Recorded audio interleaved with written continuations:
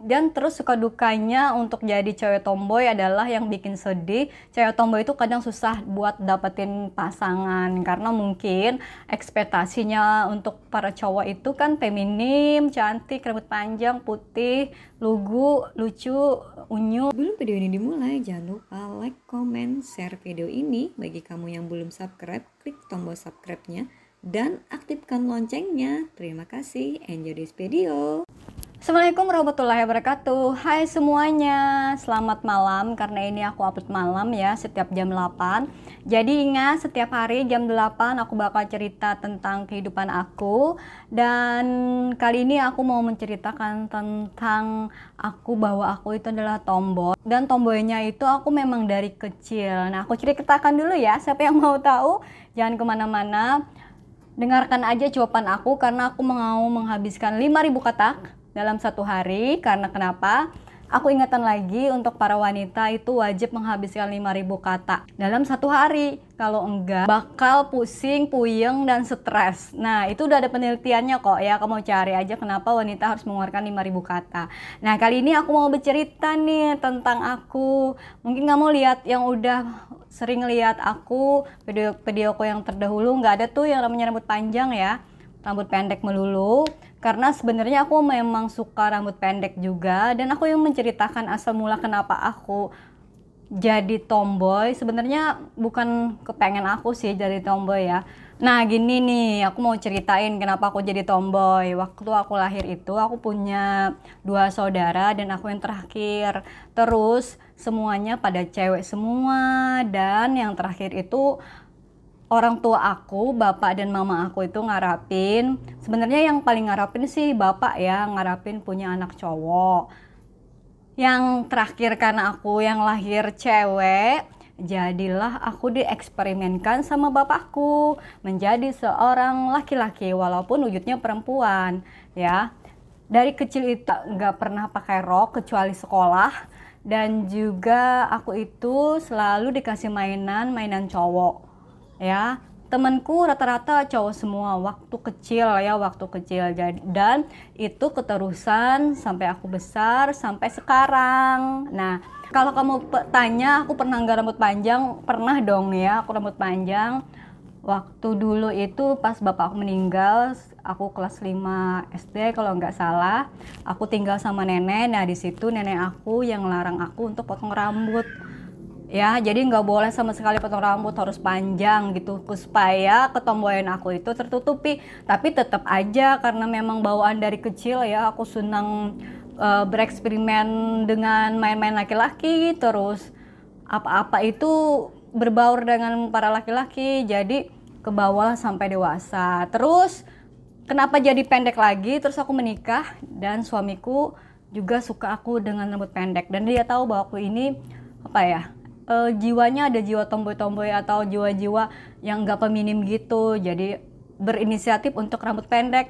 Dan alhamdulillah juga muka aku ini cocok untuk rambut pendek. Gitu ceritanya. Nah di sini bagi kamu yang lagi nonton adakah kamu yang ngerasa kamu tomboy karena memang dari kecil itu kebiasaan mungkin pembawaan dari orang tua atau dan lain. Kalau aku sih karena memang tiga saudara semua cewek dan aku yang terakhir cewek karena mau cowok jadi aku diperlakukan seperti anak cowok gitu dan keterusan sampai sekarang.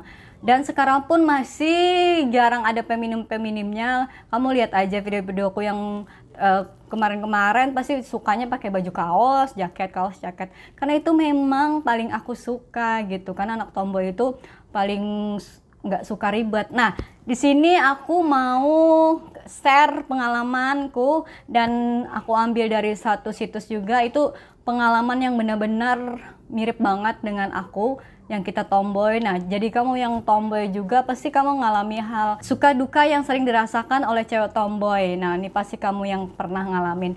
Yang pertama itu suka duka menjadi cewek tomboy adalah yang pertama adalah cewek tomboy itu nggak suka dilipatin dengan make up. Meskipun muka mereka nggak pakai polesan, mereka nggak khawatir dengan penampilan mereka sendiri. Nah itu cewek tomboy. Oh ya, bagi kamu laki-laki yang lagi nonton juga, kamu wajib tahu dong ya bahwa cewek tomboy itu paling gak suka yang namanya make up dan pede cenderung pede walaupun gak pakai bedak make up dan lain-lain dia itu lebih dan lebih pede gitu ya karena cewek tomboy itu biasa nggak pakai make up seperti aku nah kalau aku sekarang itu akhir-akhir ini kalau kamu lihat ada sedikit dandan karena aku memang belajar gitu ya. Lagi masa tahap belajar. Jadi nggak kalau ada review atau tutorial dandannya pasti nggak bagus. Karena baru mau belajar dandan begitu. Suka dukanya jadi cowok tomboy itu juga yang paling enak adalah fleksibel dalam memilih teman ya. Karena aku itu biasa paling senang kalau berteman dengan para cowok karena kebiasaan aku dari dulu sampai sekarang geng itu aku tuh banyak yang cowok. Tapi juga nggak masalah aku cewek pun ada juga kok ya teman-teman. Tapi kalau perbandingan bisa dari 10 aku teman cowoknya 8 teman ceweknya dua gitu. Kenapa? Karena aku lebih senang bergaul dengan para laki-laki. Para laki-laki itu enak aja diajak, diajak ngobrol terus nggak jarang gosipin orang cara gibahin orang gitu ya. Sedangkan kalau berteman dengan cewek itu udah acara gibah gosip dan lain-lain pasti terjadi. Jadi sebagai anak tomboy aku ngerasa banyak an temen cowok daripada yang cewek. Yang tomboy bener nggak? Kamu pasti banyak teman cowok daripada cewek. Tapi ada juga sih cewek. Biasa kalau punya teman cewek berarti itu best friend banget gitu yang tahu banget tentang kita. Nah yang suka dukanya jadi anak tomboy juga selanjutnya gitu bahwa nggak pernah punya rok yang bener-bener beli.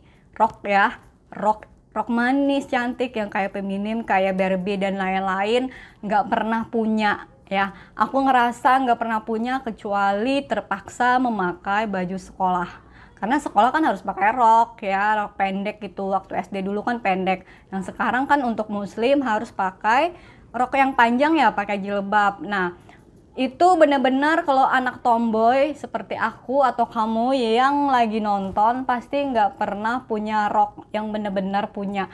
Walaupun punya itu terpaksa ya. Terpaksa harus punya karena mungkin karena yang lebih sekolah tadi atau memang guru yang nyuruh baru ya punya punya rok gitu. Nah, suka dukanya juga jadi cewek tomboy itu adalah kalau kita berteman dengan para cewek, dia itu ngerasa terlindungi oleh kita. Kenapa? Karena kita tuh lebih jentel dari mereka ya. Tapi kalau aku sih dari dulu sampai sekarang hampir nggak pernah punya musuh, alhamdulillah. Karena sebenarnya aku itu berteman dengan siapa pun, mungkin dalam kelas dulu waktu sekolah ya waktu sekolah dalam kelas itu aku berteman dengan cowok dan cewek-cewek. Entah itu cewek biasanya kan dalam sekolah itu ada geng-geng ya. Ada geng anak pintar geng yang uh, orang-orang gaul eksis ada orang pendiam ada orang cupu dan juga ada orang yang brutal. Nah aku itu berteman semua. Jadi aku nggak pernah yang namanya punya musuh dan biasa yang paling aku seneng itu yang aku berteman itu dengan orang-orang yang santai gitu. Nggak gaul banget gitu tapi mereka santai. Nah itu aku biasanya seneng bergaul dengan mereka. Nah kadang-kadang pertama-tama waktu aku bergaul dengan mereka ya biasanya mereka itu aneh yang lihat aku kok mau berteman dengan aku? Padahal mereka bilang kayaknya aku tuh uh, kelihatan lebih jentel sangar gitu. Karena kan sering berteman dengan anak cewek eh, cowok berteman dengan anak cowok dan suaranya agak lantang gitu. Jadi mereka takut. Pas udah kenal alhamdulillah jadi teman baik kok ya. Jadi semua temen aku rata-rata baik semua. Dan alhamdulillah sampai sekarang pun yang udah tua ini bila ketemu sama teman-teman mereka masih ingat dengan muka aku dan nama aku. Berarti mereka aware dong sama aku karena aku punya teman banyak gitu Nah, buat kamu anak tomboy yang rambut pendek seperti Jeng ya, seperti Jeng, itu pasti sering dibilang anak laki-laki, apalagi kita kan potongan uh, kayak baju-baju kaos biasa, pakai jeans ya itu dibilang anak laki-laki. Nah, kemarin juga ada satu komenan ini yang bilang kamu cewek apa cowok sih?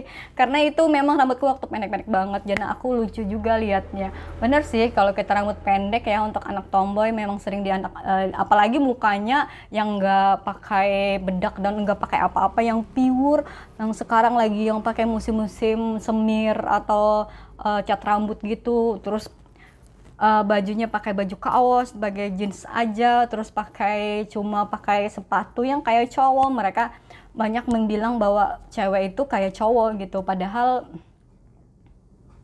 padahal kita cewek nggak apa-apa sih. Nggak tersinggung. Kalau aku sendiri sih nggak tersinggung karena memang seperti cewek cowok gitu. Padahal kita cewek. Nggak apa-apa sih. Kalau dibilang seperti itu lebih lebih senang lagi ya. Terus cewek tomboy itu punya baju itu kebanyakan yang seperti ini baju jaket yang banyak ya. Terus baju kaos juga. Terus uh, jeans celana itu yang santai. Jadi semua koleksi itu banyak baju kaos dan juga jaket-jaket. Kalau baju-baju kadang-kadang kalau milih uh, karena kan udah tua gini kan sering-sering ada kondangan-kondangan itu itu bakal bikin aku ribet banget. Harus mencari baju yang wanita itu agak susah banget. Karena aku punya koleksinya hampir sedikit. Dan biasa kondangan itu kalau lagi belum musim corona ya.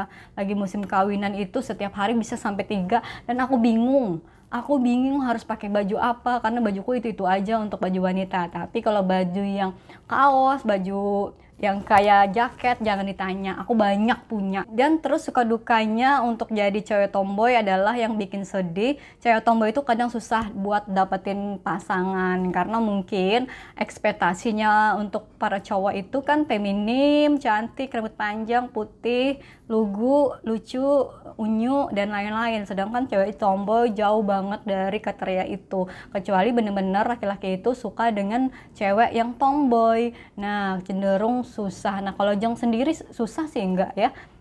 Dapatin cewek tomboy dulu karena memang tomboy aku itu ketutupi dengan rambut panjang. Aku pernah rambut panjang ini dia. Pernah rambut panjang gitu. Jadi nggak nggak kenampak banget bahwa aku itu tomboy. Padahal intinya bahwa aku itu tomboy tapi nggak kelihatan gitu. Susah nggak sih ya? Nggak sih karena dulu tuh aku asa aku tuh orangnya nggak putih hitam aja tapi ada manisnya. Jadi pria-pria suka dengan keteria hitam manis. Ya cih. Kapan lagi nih dipuji muji diri sendiri aja gitu ya. Nah suka dukanya jadi cowok tomboy itu saat kita memakai baju cewek ya dress daun dan lain-lain gitu pengalaman aku dulu itu disuka bilang sama gini nah gitu dong pakai bajunya yang baju cewek jangan melulu pakai baju yang cowok gitu kadang-kadang malu ya itu ya kadang-kadang malu. Nah itu yang terjadi sih di aku. Dan bagi kamu yang tomboy bener nggak sih? Atau yang suka baju kaos dan lain-lain. Jadi pas kita memakai baju cewek itu agak sedikit aneh. Dan terakhir suka dukanya menjadi cewek tomboy itu adalah mereka yang kadang sering dianggap nggak punya jati diri hanya karena penampilan nggak sesuai dengan kodratnya padahal jas itu pemikiran salah. Itu salah banget ya. Karena sebenarnya kayak aku misalnya kayak aku ini tomboy itu bukan dari salah kodrat dan lain-lain. Itu memang aku itu nggak bisa kayak orang yang feminim yang harus campil cantik dan unyu. Bahkan suami aku kadang-kadang kalau ngajak jalan ya aku tuh cukup pakai baju kaos pakai jeans sudah nggak pakai bedak dan enggak lain-lain ya udah aku jalan gitu. Karena itu memang menurut aku paling simpel dan suami aku tahu. Dan alhamdulillah dia mengerti aja. Nah bagi kamu juga yang mungkin saat ini menjadi wanita tomboy dan kita sebagai sesama tomboy carilah pasangan yang mereka-mereka yang benar tahu bahwa kita itu tomboy. Karena orang tomboy itu sejatinya nggak bisa dipaksa untuk make up cantik dan lain-lain. Kecuali memang si tomboy itu cantik duluan gitu ya kan? Nah itu memang memang harus cari pasangan yang benar-benar bisa mengerti kita itu.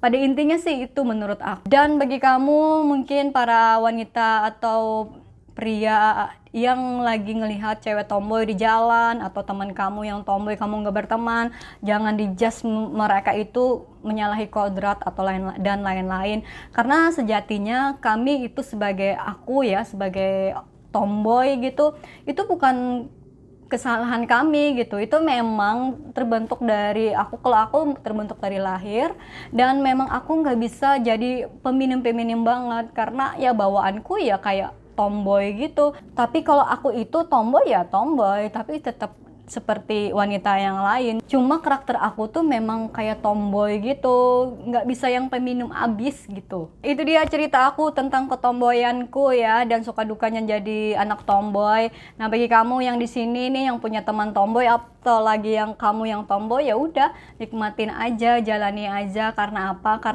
itu bukan suatu dosa dan juga itu bukan suatu aib bagi kita. Sebenarnya yang paling dasari kenapa jadi cewek tomboy itu memang cewek tomboy itu cenderung nggak mau ribet gitu dengan urusan apa-apa dan lain-lain simpel. Pokoknya sesimpel mungkin dijadikan sesimpel mungkin. Itu sih menurut aku ya. Nah itu dia cerita aku untuk hari ini. So ikuti juga untuk cerita aku besok-besok karena aku udah banyak banget. Ini mau ngomong soal cerita-cerita yang lain juga tentang kehidupanku. Dan bagi kamu yang juga mau share tentang kehidupannya kamu bisa DM aku di Instagram. Ini dia Instagramku yang udah ada ada di samping sini Instagramnya ya. Nah, dan jangan lupa juga follow untuk Instagram yang terbaru aku karena yang kemarin sebenarnya udah banyak pengikutnya tapi aku karena bikin lagi jadi ting baru sedikit. Please follow Instagramnya dan juga bagi kamu yang belum mengikuti atau subscribe, subscribe dulu karena subscribe itu gratis, gratis, gratis nggak bayar gitu guys. Oke, terima kasih yang sudah menyimak tentang bahwa aku itu cewek tomboy jadi jangan jas lagi kenapa aku rambut pendek. Itu dia karena aku memang suka rambut pendek juga. Dan aku itu cewek tomboy.